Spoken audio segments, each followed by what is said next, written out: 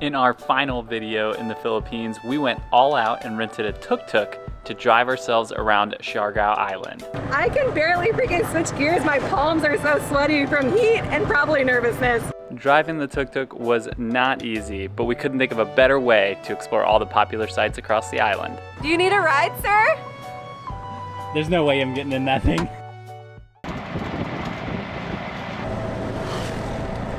All right, first thing here in Siargao is we're gonna hop into a tuk-tuk and go check out some of the sites. Look who's my uh, tuk-tuk driver is here. It's Rebecca! we just rented this thing. Let us show you around here.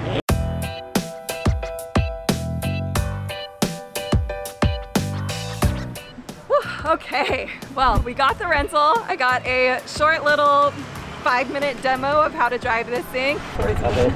And then towards me is gas. So I take off the brake and the clutch at the same time. Give it gas. I'll give you a little catch.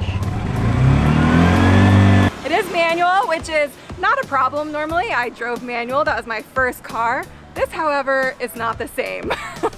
so I got this sweet little green bad boy right here. I'm gonna call it the Green Machine Verde. Let's give you a tour. So if you're not familiar with driving a manual vehicle, usually you have three pedals at the bottom. One's brake, one's gas, one's the clutch. This, however, has the gas on the right hand and my left hand has not only the clutch, but also the gear shift. And then there's one brake pedal. It's a lot to think about all at once and it doesn't shift like a normal car would where you ease off the clutch and into the gas. It's totally different. So we're a work in progress. It might be a slow day, but we've got this.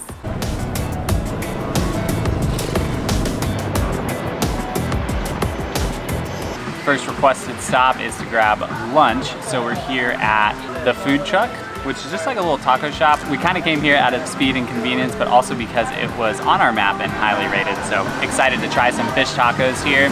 We'll also put a link to our map in the description if you're looking for an easy way to see what the sights to see, places to eat are here in Siargao.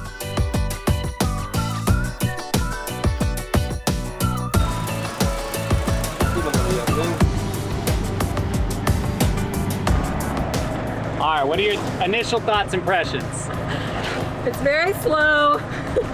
I have yet to pass anyone. and I can barely freaking switch gears. My palms are so sweaty from heat and probably nervousness, but also it's really hot here. Is it fun? It is fun-ish. Honestly, riding on the back of the motorbike is a lot more fun. we have arrived. We're here at the Cloud9 surfing area. That's gonna be the first stop on this adventure. We are not surfing. We're just gonna check it out, see what the view is like, and watch some other people fall. Not now, maybe later. I'm gonna leave it open-ended for the rest of the trip. So Siargao in general is a surfing destination and Cloud9 is kind of the peak of that. The waves don't really look huge right now, but there are like a million people. And everybody you walk by asks if you want help surfing, surfing lessons, surfing rentals. So again, not gonna happen today, probably not gonna happen at all, but I don't know, maybe I follow up with this sweet clip of me shredding some gnarly waves or something. Kyle is, I was going to say attempting to surf, but he got up on his first wave. What the heck?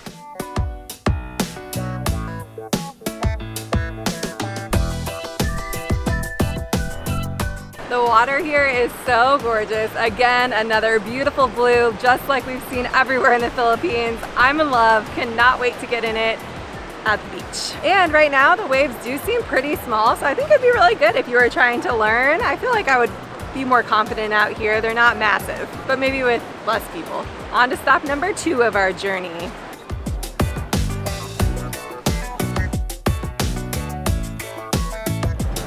I'm gonna be honest, I definitely got the easy side of things.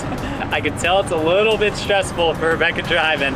Mainly just shifting gears and stuff seems to be a little challenging. I'm just kicking back and relaxing.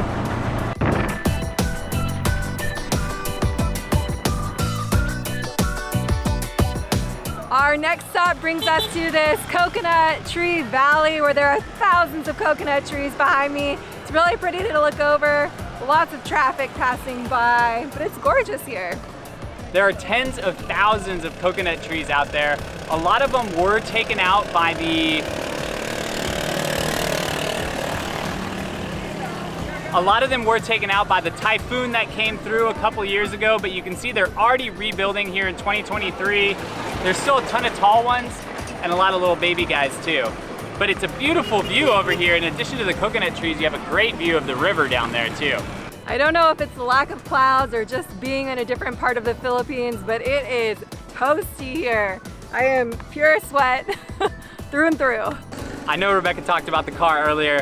I've noticed a few new features, so I'm gonna give you the Pimp My Ride version if anybody remembers that show from the early 2000s. We'll hook you up with the ultimate lounge equipped with your own baby grand piano. Let's get started. First thing you're gonna notice here is we have not one, not two, but three side mirrors on either side. You can see the front, the grill, you can look at yourself, you can look behind you. It's pretty top level. Now let's move around to the side here. As you can see, we got lots of sponsors here on our vehicle. Not only are we sponsored, not only are we sponsored by Guapitos here, but come all the way around the side, you can see that there's an Apple sticker too. They're a big sponsor of ours, so shout out to Steve Jobs, and thanks to Apple here for uh, putting that on us. Also on the front, we got a little bit of extra flair here. The grill, you can see nice and chrome shined out. We buffed that before we got in here. Got a Batman signal on the front, and check out these horns. Those are from the authentic 1968 Tuk Tuk they first brought to Siargao. So this is really legit, very original. I also wanted to point out on the side here, we got a little bit of flare, a little bit of flash. We got some things sticking out on the side. These look like they're building materials. They're not. These are all for style. Really sets the tone for the uh, for the tuk tuk here. So definitely impressive. Now, where the real magic happens is on the inside. So follow me. Inside the vehicle is where we really shine. In the back, tons of storage. There's at least three square feet back there. Tons of storage. Look at this backpack. Fits however you want it. We also have handles here. This helps not only to, you know, rock the boat a little bit, but if you wanted to hang out on the outside and feel the breeze through your cool hair, you know, that's something that you can do too. And then, if you want to get the party started with some music, we have not two, not one, but zero speakers in here. So unfortunately the speaker's not gonna work this time, but we're gonna figure out an option for next time. Now I know what you're thinking. What happens when it gets a little bit hot out here, you know, bright sunny days in the Philippines? Well, if you get a little parched, we got you with a cup holder. That's custom work for you. Make sure that you're staying cool and hydrated throughout your tuk drive. And then you want to take a private ride. First things first, pull your sign out. Bet you didn't even know we had that. You're gonna put that right on the front of the vehicle. I'm sure it'll stick somewhere. And then we have two shades we can pull out. They don't get used very often, but you can see we needed to protect my identity. Obviously, we're YouTube famous. We just pull these out, kick back, relax, and that's Pimp My Ride. Now, I know I talked about in the Pimp My Ride edition that we got all these mirrors. To be honest, they don't do anything. When we need to drive, I have to stick my head out and make sure there's nobody behind us.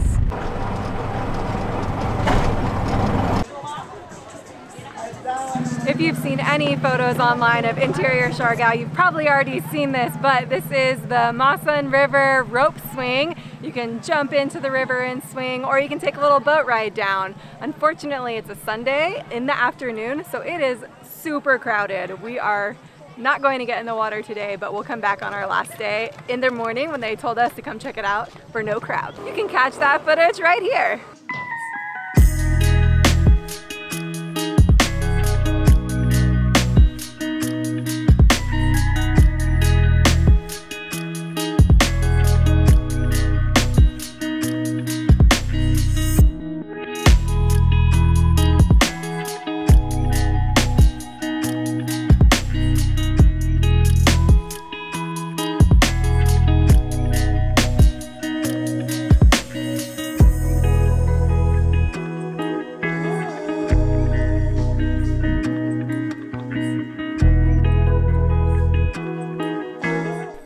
Stop of the evening is here at Secret Beach.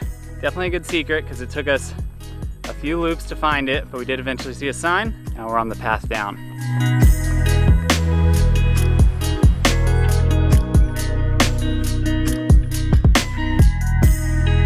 We made it down to Secret Beach. We pretty much have it to ourselves. There's a handful of other people here, and the views are so nice. Maybe not as iconic as Cloud 9, but Secret Beach looks to also be a place where you can learn how to surf. And it has a lot more privacy, which I feel like can be really helpful if you're a beginner. Short stretch of beach that's kind of tucked under the palm trees. We're here right at sunset, which has a beautiful glow to it as well. Water is crystal clear. This, I think, is what you think of when you think of paradise.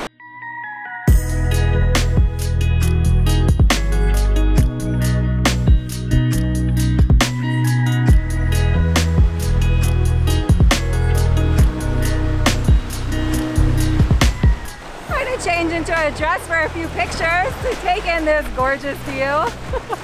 I've never changed before, I feel silly, but whatever. We are back. Ah! There he goes! yeah! He's surfing!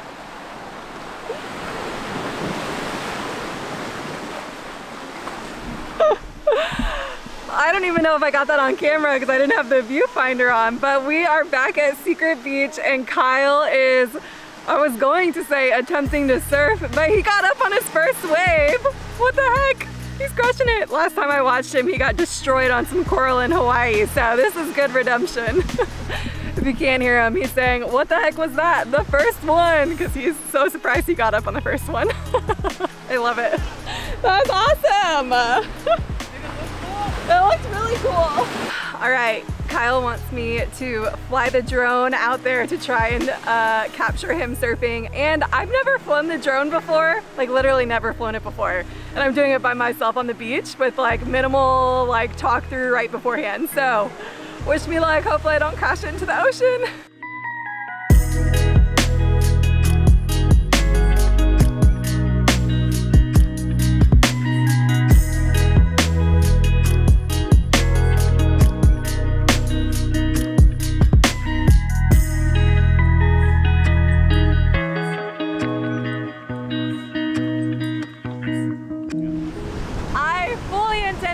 swimming because it looks so nice. But the sunset is so gorgeous and we just kept taking pictures and now it's getting dark so we're probably gonna head back. That's gonna wrap up our adventure on the tuk-tuk here in Siargao. And it was a lot of fun. It was great to just do something a little different. I am happy to say that we will be switching back to the motorbike. We had our fun. I'm definitely not quitting my day job and I am looking forward to being back on the motorbike tomorrow.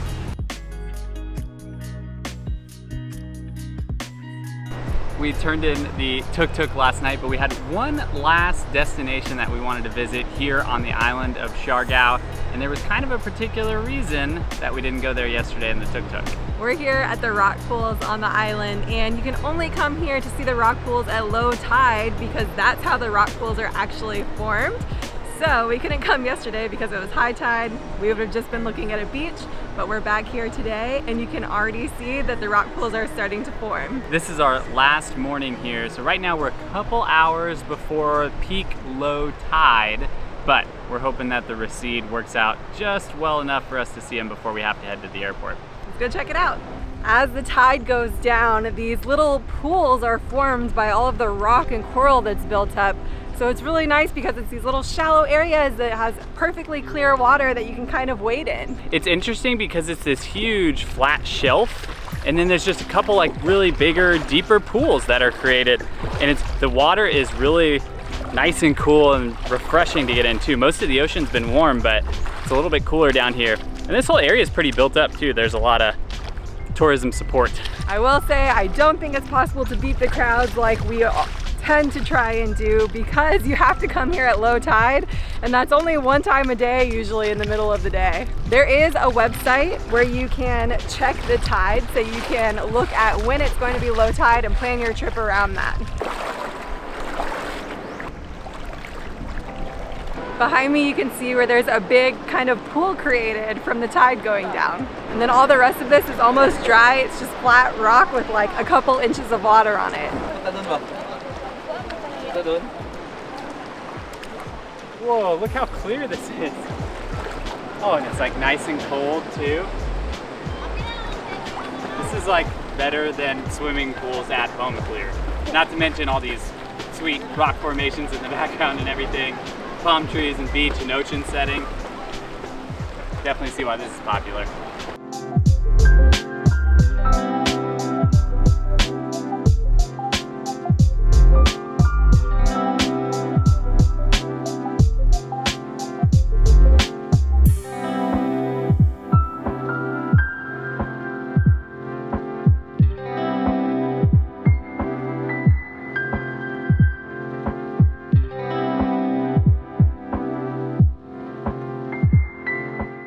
Know we're just like describing a tide pool, but even the little pockets of water with all the little neon colorful fish in there are really cool. I think because there's so much coral and everything, there's a lot of life around here. This is so pretty. I love this. It's like a cenote basically.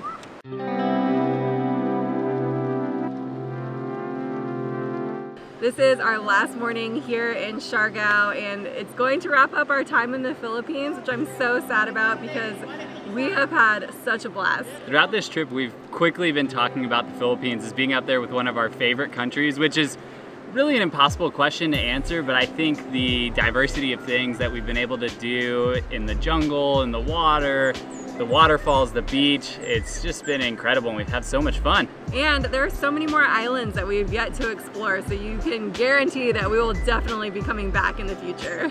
It's definitely worth noting that the Philippines also has just some incredibly friendly people.